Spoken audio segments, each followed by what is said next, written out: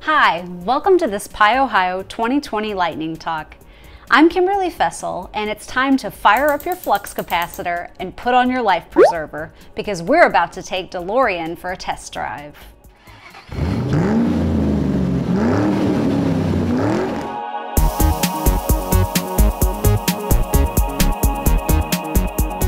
DeLorean is an open source library developed by Mahdi Yusuf to help you work with date times in Python.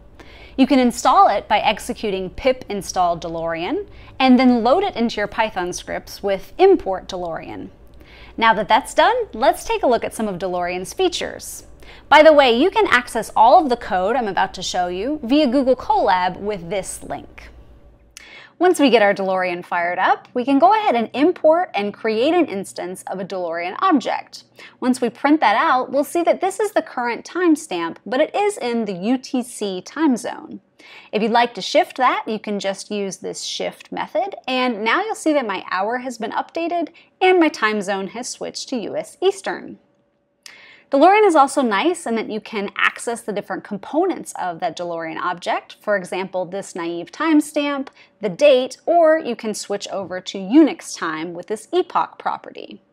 You can also replace the parts in your DeLorean. For example, you could switch your hours to be 10, or you could go back to Marty McFly's time and switch your year to 1985. DeLorean also works with date times time delta, so you can do time arithmetic. For example, you can go three weeks forward in the future, or you could subtract off 2 minutes and 10 seconds to roughly when you started this video. We are off to a great start, and it didn't even require 1.21 gigawatts of electricity. Besides those basics, there are three more DeLorean techniques to tell you about.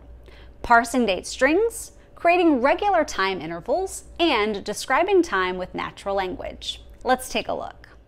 Parsing time with DeLorean is super simple. You just need to import the parse module and then supply whatever string you're interested in. DeLorean will convert that string into a DeLorean datetime. And you can use many different string formats, which is super useful if you are collecting information from various different APIs or if you're doing something like web scraping. You can also use DeLorean to create stops at regular time intervals. First import the stops module, and then stops is going to give you a generator that you can iterate over. You just need to supply the frequency at which you like the stops and then how many of those stops to create.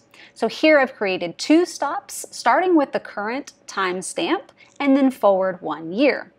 But you can also use DeLorean to specify which time intervals you're interested in. So here I've set a start and a stop interval, and I've even said that I'm only interested in Mondays. So here are my two Mondays during this time interval. DeLorean allows you to talk about time using natural human language. For example, if I want to know the date of last Thursday, or I can supply an integer and move forward in time 30 years.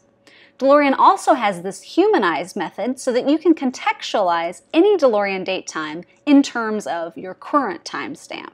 When it comes to date time manipulation in Python, you have lots of options, including arrow, pendulum, and the blazing fast udatetime. Your choice of library ultimately comes down to your project's needs and your own personal preferences. DeLorean attempts to compile and enhance some of the best bits of other libraries, so I hope you've enjoyed getting a glimpse at what this DeLorean can do.